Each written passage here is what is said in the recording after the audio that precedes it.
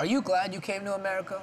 Oh, I'm very happy. As a country, I think American is it's the best. Who will treat the immigrants as good as Americans? At the end of the day.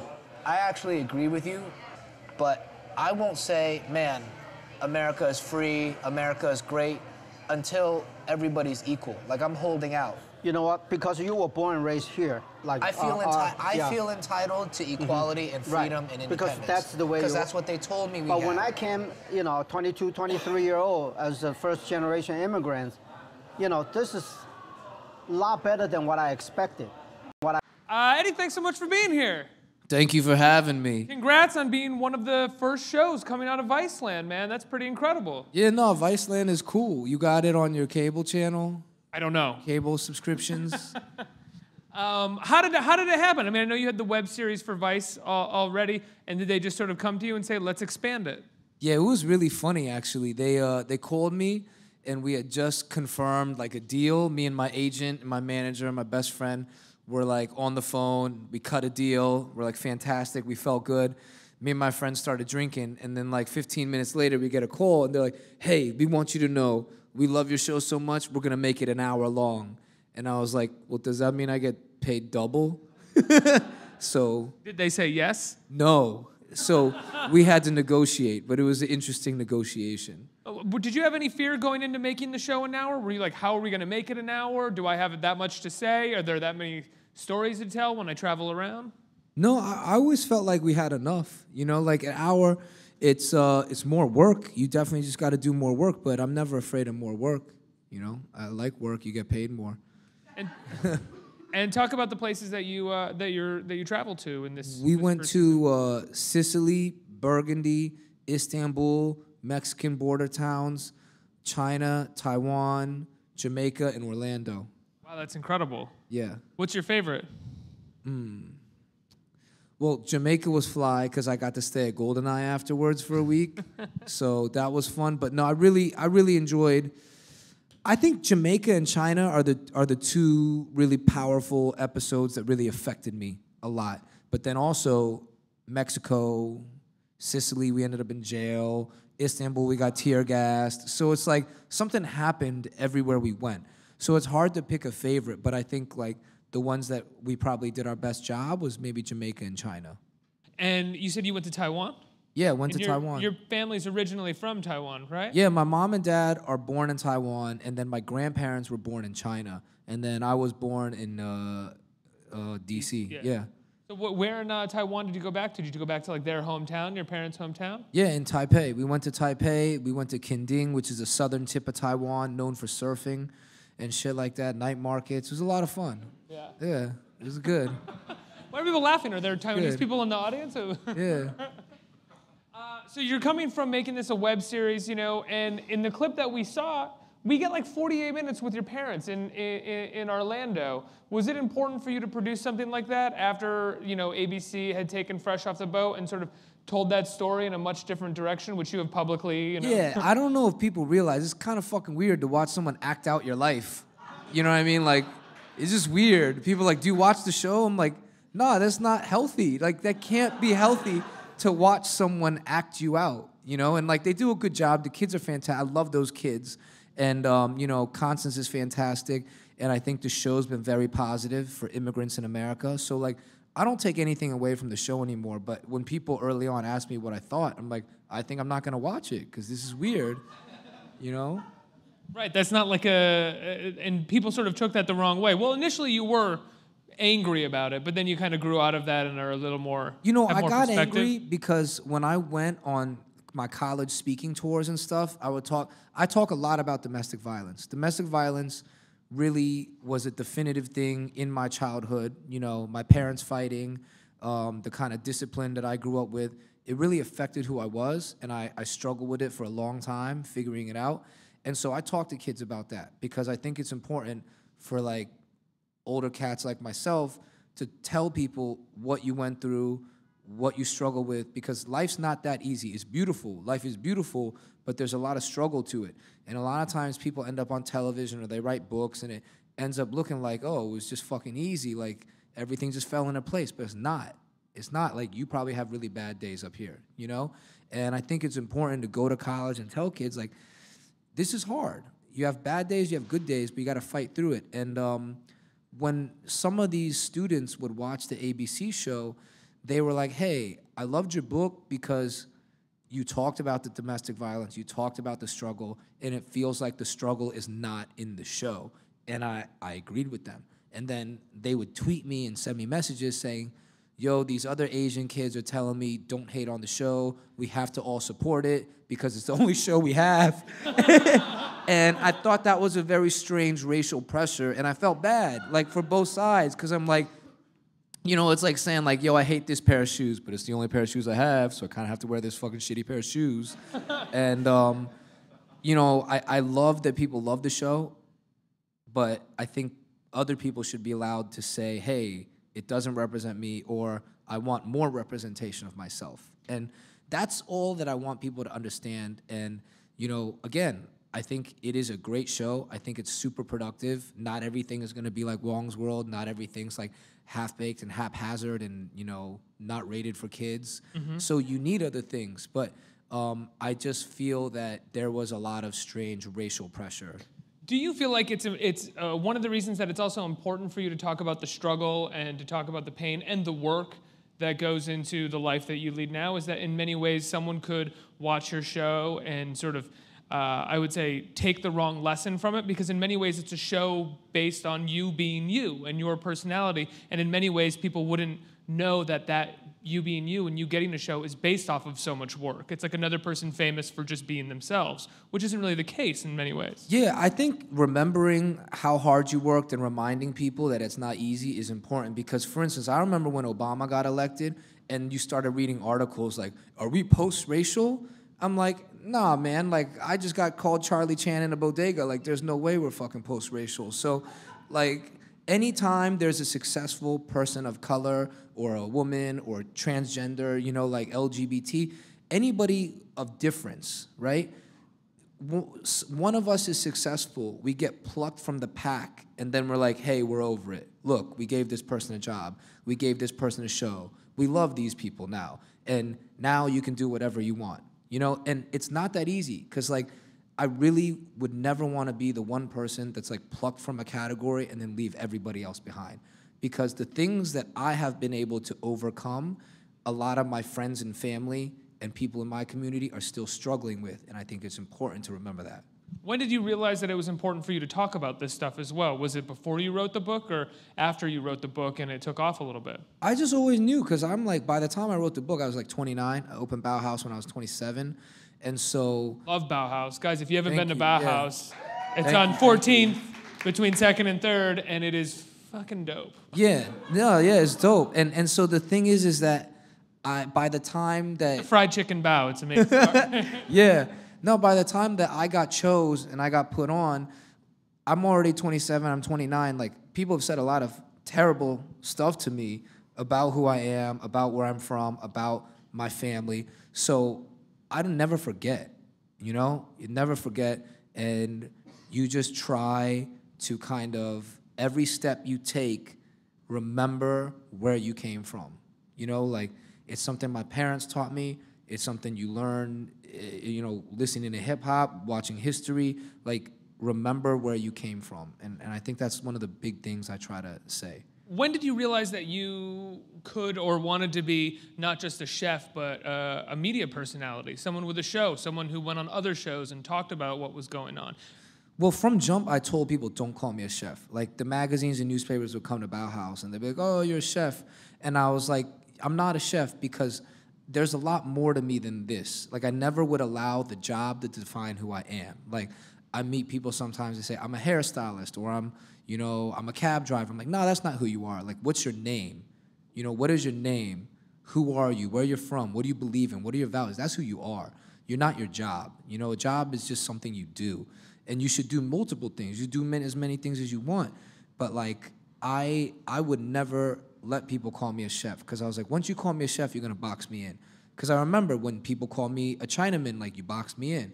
And so I learned really early on as a kid, like don't let people box you in.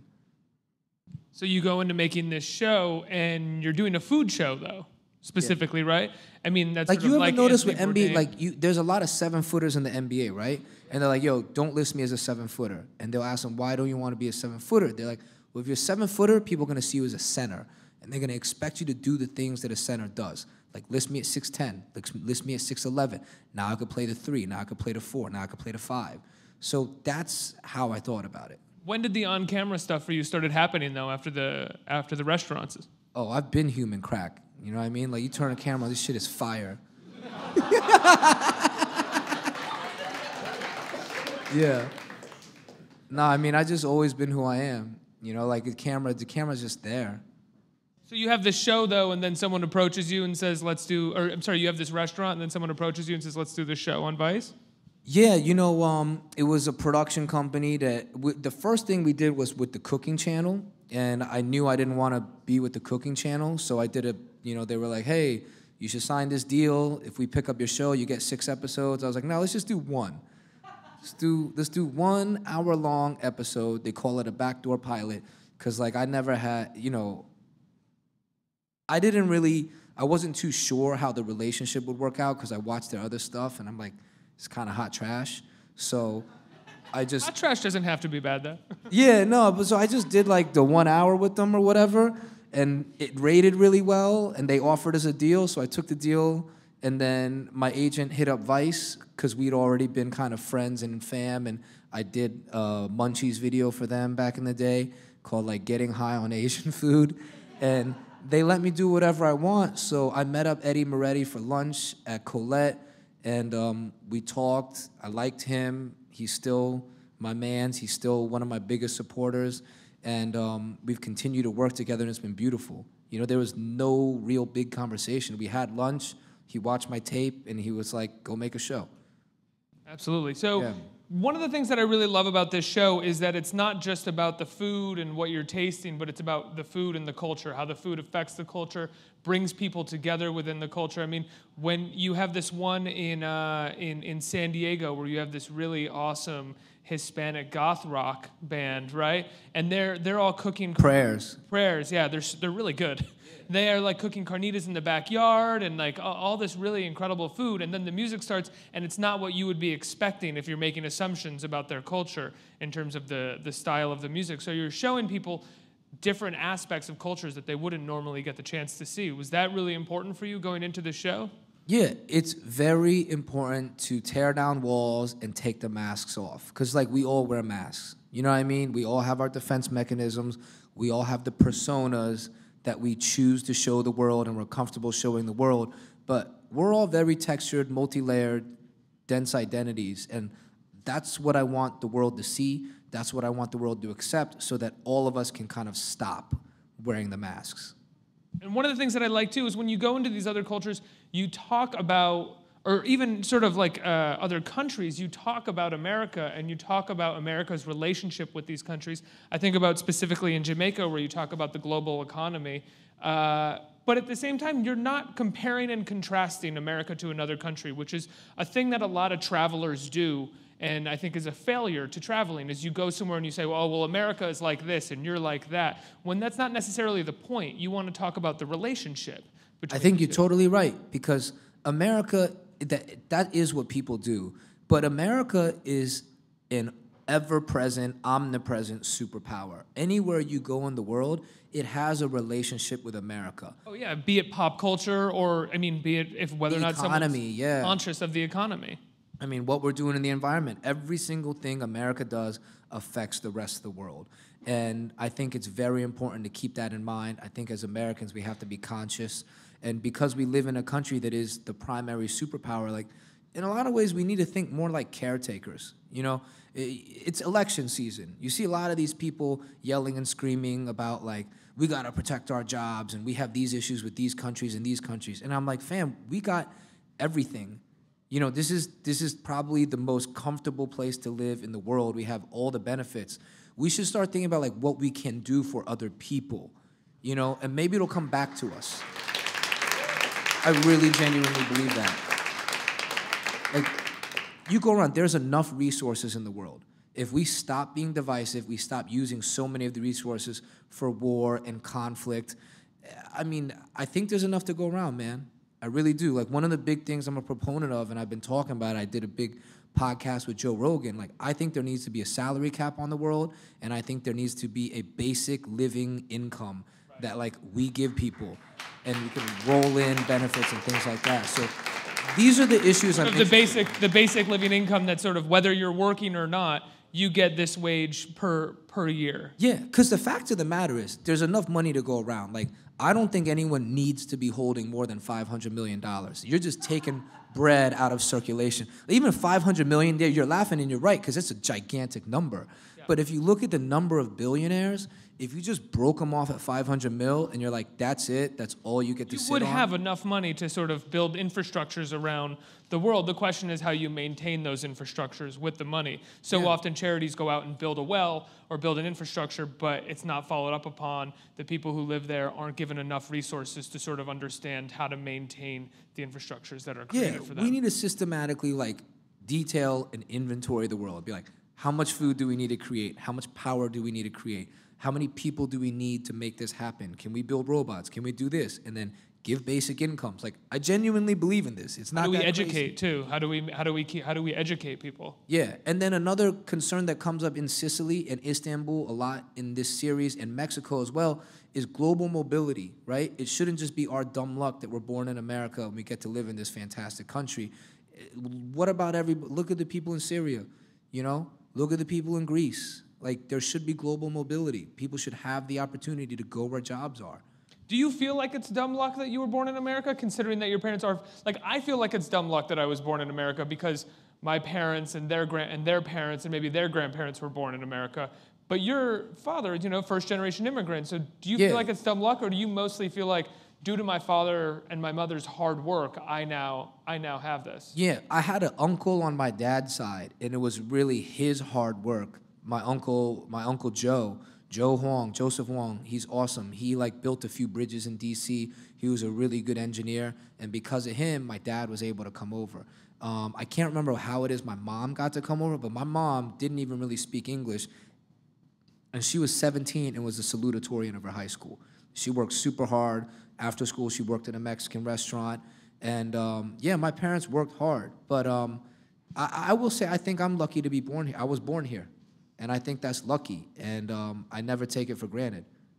How often do you find when you're traveling on the show, or even before you started doing a show, that when you go to another culture, if you're willing to eat their food, you're immediately just sort of welcomed into the conversation and, and sort of a part of it? If you're willing to sort of, I mean, people want to feed each other and people want to share what they know about themselves and their world, and so often the immediate thing that they know is their food. And if you don't know it, they want to share it with you. And I find that immediately opens up doors. Yeah, someone serves serves you their food. It's like they took off their shirt, and you can't be like, "Oh, that's nasty." Like you kind of, you kind of gotta be, "No, you fly, you fly, you good, you good." Do you know what I mean? So it's like it's really disrespectful to not eat. And I've eaten some terrible things. Has there ever been anything that you didn't eat? No, I ate all of. I've eaten tuna sperm. I ate fermented mare's milk. Ma- Fermented mare's milk? Fermented mare's milk. What'd that taste like? Like the sound of it? The sound of it. I ate camel cheese, and it was like, you ever been to an exhibit at the zoo where the camels are at? It's like I put my head in a camel's ass and ate cheese. It was disgusting. It was disgusting. Where did you eat camel cheese? Mongolia. Mongolia has the worst food on the planet. The worst. Worse- but I love them. It was worse my than the favorite. My UK? favorite place in the world is Mongolia. But I would bring like mad Soylent if I went over there. I would always be eating powdered meals. Mongolia was yeah. It's a wrap for food over there. Hey, so go- what exactly? What exactly is camel cheese? I don't know what that is. Is They that take just like camel's milk and make cheese, but camels are so stank. It's like their essence. It's literally like cheese that smells like the zoo. like if you made elephant cheese, it was, it was so bad. It was so bad. And what's what country has the, the your favorite food? I know you love Mexican food. Okay, I'm if if I take out Taiwan because I'm so you know you grew up with that. Um, man, I like Korean food. I'm way into Korean food. Yeah, Korean food is great. I really like Korean food. I like I don't Burgundian you food. people were cheering because you're Yeah. Korean or because you just like Korean food. Yeah. you're- want to stand up She's for serious. it. She like Korean food. Yeah. Yeah, no, I like Korean food. I like Japanese food. French Burgund- Burgundian food is incredible. Um, I mean, every everything is fire. You you know, except Mongolia.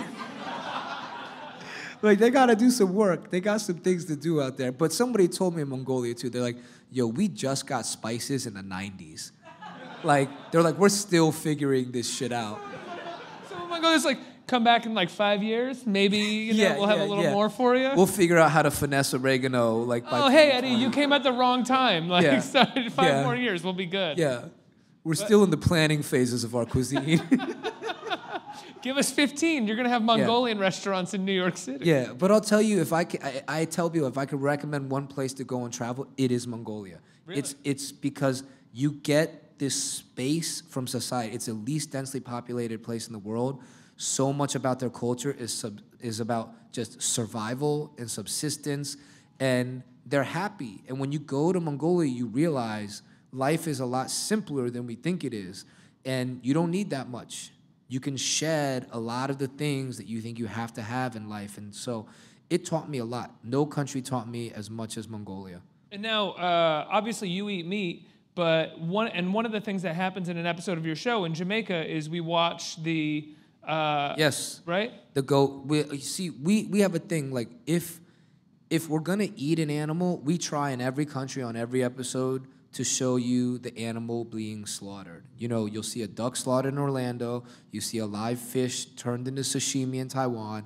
You see a goat slaughtered in Jamaica, and it's not for shock value. It's you have to see this because when you go to the grocery store, it's like under a neon sign. There's like a photo of a butcher holding this meat, and he's like this. It's Or it's not borderline even that; it's just psychotic. packaged and like, and, and you know, it just looks like potato chips almost. too. Yeah, it's just boar's head, you know. But that is an that's a dead animal. That was alive. That it had feelings. It had thoughts. It had dreams. You know what I mean? Like that that ham wanted to do something with itself. you know, but now it's your fucking club sandwich. So, like, I never woke up being like, yeah, I would love to be Tom's club sandwich in like 27 days. Like that, it sucks, you know. And so we show you the animals so you know and you're conscious. I'm gonna eat this meat. I'm conscious of what I did, and like I'm making a choice. How does that affect the way that you taste the meat? Well, there's a more there's a little sense of gravity to it. You definitely feel bad. Like a lot of people on the crew, they can't eat after it. Yeah. You know, I eat. It's my job to eat on the show, and I do it. But like I do it with like a lot more humility, and I do think at some point in my life when I have the strength and my like lifestyle permits, like maybe I will change my diet. You know, but I definitely try to eat as much as I can, all natural, anti-hormone, antibiotic free. Like that's what we serve at BaoHaus. Um, I think that we really need to change the food processes, but also, like I said with jobs, if we can have robots do it and give people income, like if we can create food and we can have nutrition without killing these animals, like maybe we need to let them live, you know? So I think these are things that we have to think about. These are things like people have to make conscious choices about. Because right now, the system makes it possible for us to float through life, do these things, and not be faced with the choices. Because it's under a neon light, it's cellophane wrapped, and you're like, oh, I'm just eating a brand. Now that's an animal, fam. That's The that's system dead animal. eliminates consciousness when it comes to food, essentially. Yeah, I think that a lot of our consciousness has been eliminated in the food process. Yeah, absolutely. I'm gonna turn it over to uh, questions from the audience. Hey, what's up, Eddie? What's Uh, up? My name is Kelvin. It's finally kind of great and dope to meet you because uh, a lot of my friends watch Fresh Off the Boat and they, it's crazy because I don't know you personally, but they said that I kind of remind them of you on the show. So it's cool to meet you. Um, I don't see it. Sorry. Thank you. you're really like dope and person um, down to earth, and like I really like that you're just real and just you know smart, raw, and just like you know, um, kind of just like you know y- yourself. Just like you, bro. Um, I guess my question is more, um, what's like the greatest adversity you faced growing up, you know, or like what what's like a great lesson you could tell people? That's a good question. I'm gonna think about it one second because I don't want to give you like uh, a half-assed answer. Um, I think the greatest struggle was myself, right? Like I really think that you have to learn to love yourself, believe in yourself, have confidence that you're good enough, and then every day stay true to yourself. You know, but you fight it. There's a lot of temptation to like change or be normal or kind of say things that don't incite people or whatever. But I think confidence and facing yourself is the biggest struggle for a lot of people and definitely for me. Yeah. Next question. Hey man, thanks for being here. A lot of important, insightful things you've said. I'm gonna switch gears back to the food real quick. Uh, just what are some of the few ingredients you can't live without? Man, you know, um, there's a good question. Dried chilies, not for heat, but as an aromatic, dried chilies are very important. Like I use chilies in a lot of different ways, not just for heat, but like for the aroma. Um, man, uh, Szechuan peppercorns, again, for aroma, the menthol flavor, the numbingness. And then just, uh, I would say it's not an ingredient, but to answer your question, I think one thing that cooks, young cooks, need to be aware of is temperature, right? Let's say something you have garlic. Well, you could fry the garlic fast, really crispy. You could serve the garlic raw. You could confit the garlic. You could sweat it out a little bit. There's a lot of different ways to finesse, and it's like when you're using an ingredient, think about the temperature you're applying and the time that you're gonna apply that temperature to it. And like that is the essence of cooking is temperature. So think about temperature. Next question. Hey Eddie, um, thanks for being here. Uh, how do you profile the people? Do you have a selection process involved? Yeah, you know, a lot of times there's people that reach out to us on social media because we don't want to, we're not trying to meet like chefs or famous people or whatever. Like, we look for honest people who really have an opinion of their cities and countries that we go to. Because we want to hear from people on the ground, real people with real opinions. What are the challenges that community is facing? What are the things they're proud of? And what it is that they think makes them who they are. And um, the process really is, you know, we use the Google and um, we use uh, uh, the search engines and uh, social media, uh, calling people. If you got friends in the city, we'll just call them up and then we Skype them. You know, we Skype everybody, meet them on Skype. So technology makes it a lot easier. But yeah, it's kind of just, yeah. Do you find that it's not so much a food show as much as it is a culture show? The food is just kind of the doorway. Yeah, the food. The food is um, kind of the vehicle. The food is the vehicle, but it's a show about identity. It's really a show about identity, and um, you know, I, I'm sure that as we continue to do the show in future seasons, there's other tackles that we top. There's other topics that we tackle through food. Um, yeah. Uh, but right now, I'm just super focused on identity. I think this is an important thing that people need to talk about. I think we have time for one more question. Hello, Eddie. Hello. So I'm also a first generation American, and I always had this struggle because my family's from Ghana. So Ghanaians always consider me to be American, and Americans always consider me to be Ghanaian. So I was always in like this awkward middle area where I didn't know if I was American or Ghanaian, even though I was born here. So since you're also a first generation American, did you also have that struggle? Yeah, and that's the thing that a lot of people relate to the books about. And my second book, Double Cup Love, it comes out May 31st, is all about that. Because Fresh Off the Boat was about my family and I coming to America, creating our place in this world, and figuring out what it meant to be American to us, right? Not what other people taught us it is to be an American. The second book is about me and my brothers going back to China to see if we can be Chinese, you know, and how Chinese people perceive us, and if it's too far gone. And the answer was really beautiful. Like, yeah, going back to your motherland, they're gonna snap on you for being American because you don't do things the way they do. But you know what? When they come over here, you're gonna snap on them too. Like, I, I mean, I play basketball. I'm at African Cats, and they always try to roll up on toms. Like they roll up playing ball in toms, and I'm like, fam, you're gonna hurt yourself. You're gonna hurt yourself. You know, like I don't know where you picked this habit up, but you're gonna hurt yourself. But like I'm sure if I went and played soccer in Ghana, they would laugh at me. You know, like out there trying to play soccer in Air Force Ones. So those are the things you pick up on and you notice, but it's not who you are. They're habits. You know, it's kind of just ornamentation. Deep down at the core, it's super important that your family came to America because like you're still always going to be connected to Ghana and you're bringing your culture, you're bringing your things here, and you've affected all these people who maybe have never met anyone from Ghana, you know? And the diaspora is extremely important, and we just have to stay connected. Absolutely. Eddie, when, uh, when, well, do you guys want to clap? You can clap. Go ahead. Eddie, when can people see the show?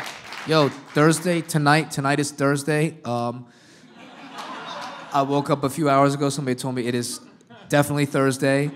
So the show was on in a few hours, 10 o'clock on Viceland. And, uh, And uh, I believe one of the episodes of the show is is, is on Vi- the Viceland website, on Vice.com. yeah, it's already on YouTube. The. Orlando show is up on YouTube, Yeah, right? With your the family. Orlando episode with my family is on YouTube right now. Jamaica drops on Viceland tonight. It's a beautiful episode, so I hope you guys watch it. The episode with the goat, so you guys Yeah. should check it out. Eddie, thank you so Yeah, man. much for Thank- being here. Thanks for having me, man.